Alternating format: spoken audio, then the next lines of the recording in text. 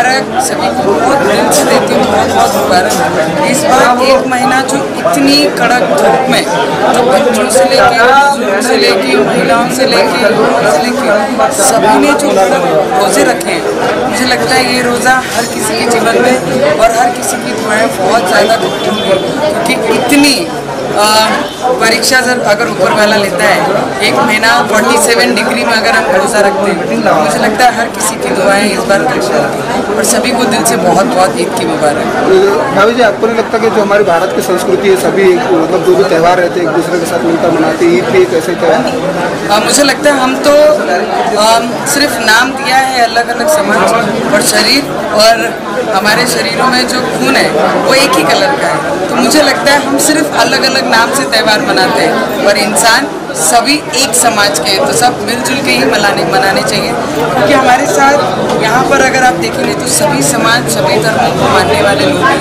मुझे लगता है मेरे लिए तो मेरा एक ही समाज है, वो इंसानियत।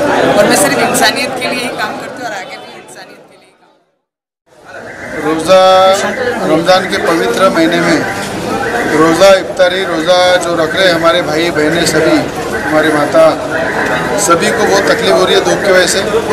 पर रोज़ा ये पवित्र महीना है रमज़ान का महीना है और इतनी कठोर परीक्षा भगवान भी ले रहा है इंसान की और इस, इस कठोर कड़ी धूप के अंदर हर हमारा मुस्लिम भाई बहन हमारे बुज़ुर्ग माँ सभी लोग जो रोज़ा रखे उन्होंने जो एक महीना पूरे परिश्रम के साथ रोज़ा किया है, सही मायने में एक अल्लाह के पास सभी के खुशहाली के लिए, सभी के लिए, भविष्य के लिए, सभी की शांति के लिए जो दुआएँ मांग रहे हैं, वो दुआ मांग मांग रहे हैं, वो सही मायने में एक सभी को एक शुभकामनाएँ देता हूँ कि आने वाले एक दिन बाद ही अभी ईद है और जो एक महीने से परिश्रम के साथ सभी लोग दुआ मांग रहे हैं सभी अपने उपवास करके ऊपर वाले को अल्लाह को सभी के खुशहाली के लिए जो मांगा है, वो ईद के मुबारक दिन पे सभी का रोज़ा, ईद ईद के मुबारक दिन पे रोज़ा ख़त्म होगा और सभी घर घर में बच्चे से लेके बुज़ुर्ग से लेके युवा सभी ईद मनाएँगे। और ईद ये हमारे देश का एक दिवाली जैसा त्यौहार रहता है और मैं समझता हूँ सभी लोग खुशहाली से ईद मनाएँगे, गले मिलेंगे, भाईचारा बढ़ाएँगे, एकता का संदेश देंगे और ईद के माध्यम से इस देश में सुख और शांति का एक बड़ा संदेश ईद के माध्यम से जाएगा। ये मैं ईद के शुभ शुभ पर्वों पे सबको शुभकामनाएँ देता हूँ।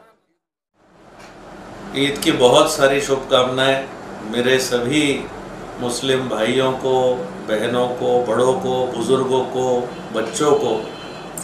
ईद एक ऐसा खुशहाली का माहौल है कि उसमें आप सबके ज़िंदगी में खुशहाली आए, सुख शांति आए। और ये एक ऐसा पर्व है कि जैसे हिंदू भाइयों में दिवाली मनाई जाती है, वैसे ईद मनाई जाती है। तो यही भाईचारा, अमन और शांति हमारे देश में बना रहे, हमारे अमरावती करों को भी शुभकामनाएँ। और आपने जिस लगन से ये रोज़े रखे हैं, रमज़ान अभी, रमज़ान के रोज़े रखे तो ये विदर्भ जो है हमारा, सबसे ज़्यादा टेम्परेचर तापमान विदर्भ में जा रहा है। वो लोग बेहाल हो गए सैंतालीस डिग्री से। पानी पानी के लिए तरस गए। हमारे अमरावती में भी पानी की किल्लत हो रही है।